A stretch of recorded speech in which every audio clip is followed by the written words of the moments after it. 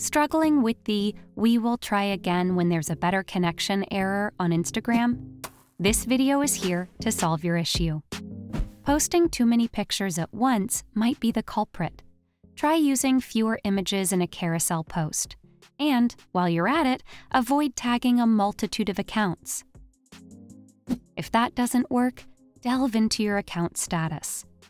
Navigate to your profile on Instagram, hit the hamburger icon at the top right, and select Settings and Privacy. Under More Info and Support, tap on Account Status. Ensure your profile checks all the boxes. Alternatively, sign out and sign back into your Instagram account. Open Instagram on your iPhone or Android, tap on your profile icon, and head to the hamburger icon at the top right. Go to Settings and Privacy, scroll down, and tap on Logout. Confirm your decision by tapping on Logout and log back in after a while.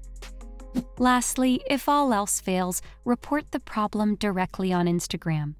Shake your phone, tap on Report Problem, select Include and Continue, and provide a brief description of the issue. Feel free to attach screenshots or photos for a clearer understanding. Hopefully, these fixes will do the trick for you. Now, subscribe to Guiding Tech and don't forget to dive into one of these videos curated just for you.